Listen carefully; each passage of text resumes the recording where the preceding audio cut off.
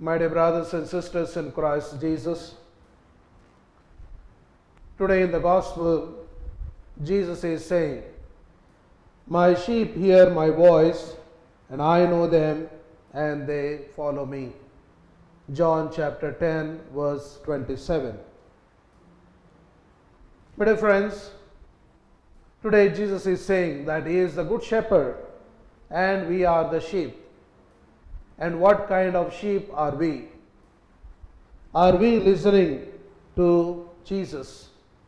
Are we tuned to Jesus?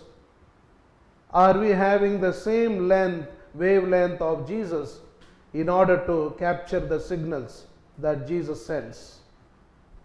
But, brothers and sisters, we see radio or dish antenna. Know, radio, we have to tune to the frequency in order to listen to the music or to any program. Otherwise, we will not get that program, that particular program. In the same way, we have on our rooftops dish antennas.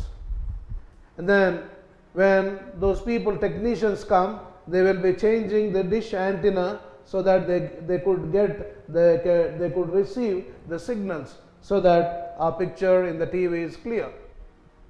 So also, we as the sheep, we need to tune ourselves. We need to attune to the voice of Jesus. We need to follow the same wavelength. But sometimes we are distracted. Sometimes we have so many blocks, so many hindrances. One is we are not able to listen to the voice of Jesus because we fall into the sin of materialism. Materialism is nothing but, you know, having inordinate love for things in the world and having excess love. And that excess love for things is blocking and also making us deaf to hear to the voice of Jesus. Or sometimes secularism, worldly things, worldly passions, and these are also making us deaf to listen to the voice of Jesus, the Good Shepherd. Or sometimes our own individualism, I, me, myself, that is called as uh, Trinitarian egoism, I, me, myself. And if you are lost in your own individual self, you are unable to listen to the voice of Jesus, the Good Shepherd. Or sometimes we have undue, undue attraction for our name, fame, and we need to become famous. Because of that, we are unable to listen to the voice of Jesus. And so, we don't become good sheep, sheep that is listening to the good shepherd's voice. And therefore, we cannot follow him. And then we cannot experience that eternal life. And that's why Jesus is saying, My sheep hear my voice and they experience eternity, my dear brothers and sisters. You know, there were two friends, and these two friends were walking on the footpath. And it was a busy area, busy business area, buzzing with noise, and nobody could hear one another. And as, these two friends were going, one of the friends says to the other, Hey, I hear the noise that cricket insect is making.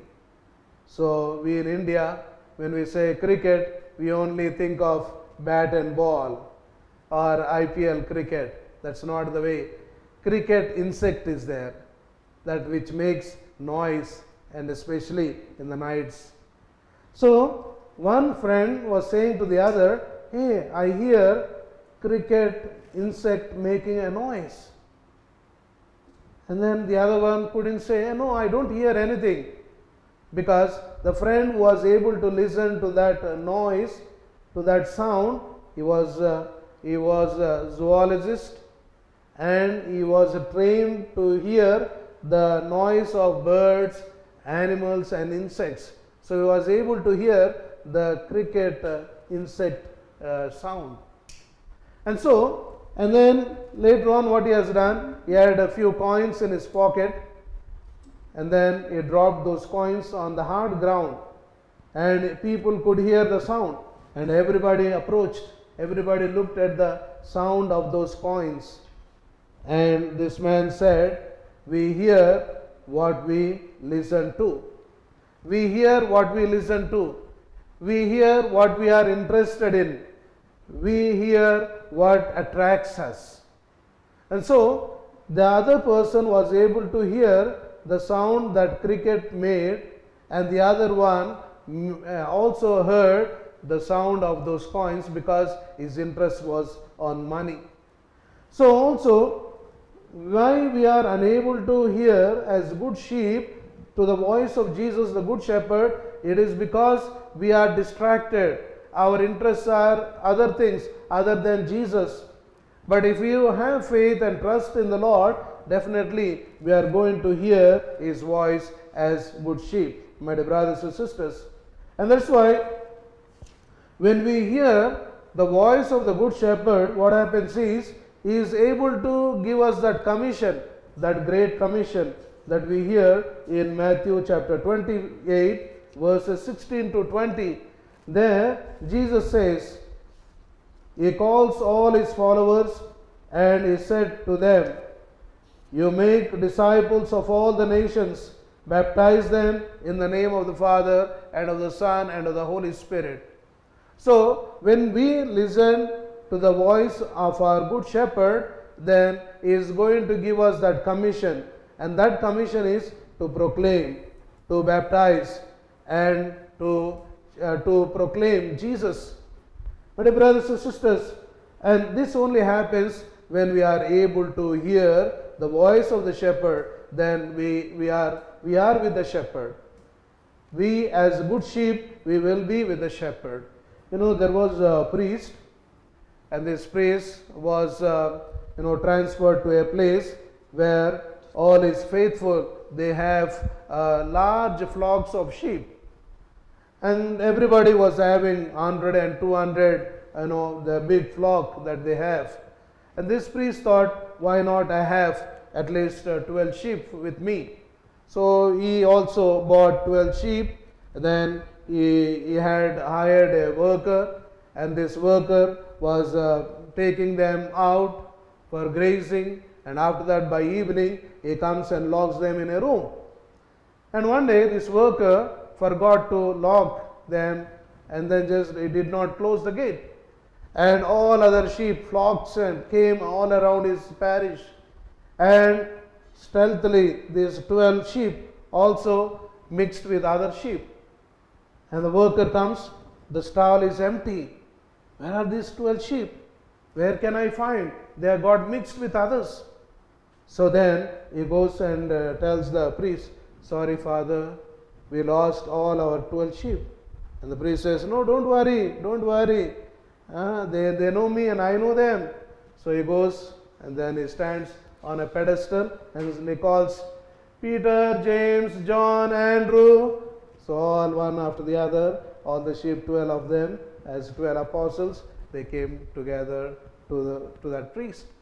But brothers and sisters, my sheep hear my voice.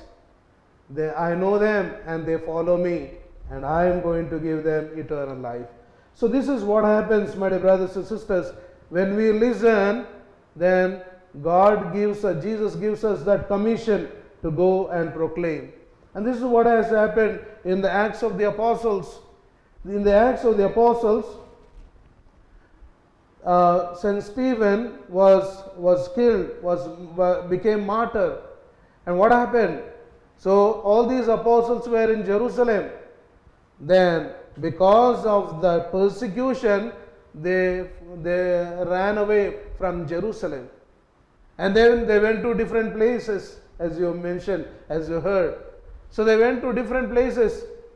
They ran away. But if you see positively, as they went to new places, they proclaimed. The number of believers increased because had they been in Jerusalem, this proclamation, this evangelization would not have taken place. Because, because of that persecution, they had to flee and wherever they went they proclaimed and that's how gospel was spreading And that's the good news was given by Barnabas to, um, to our Paul. And then Paul comes, and then there, first time, these believers were called as Christians in Antioch. My dear brothers and sisters, this is what exactly has happened. Few years back in Orissa, Kandhamal, or all those places, our Christians were persecuted. Many priests had to run, and many priests were killed. Uh, nuns were abused. But what has happened? After that, one priest was calling the priest from Orissa, Hey, how is the faith? And how are the people? And the priest from Orissa said, Now we are very strong in our faith after the persecution. So, my brothers and sisters, persecution so that there is proclamation. When there is suffering, then there is spread of the gospel. And this was, this was exactly what has happened in the lives of those apostles. So today, let us, uh, as we have reflected, let us, as good sheep, listen to our Master Jesus, the Good Shepherd. Then we are going to experience that eternity. And secondly, when there are hardships and persecutions, there is also proclamation.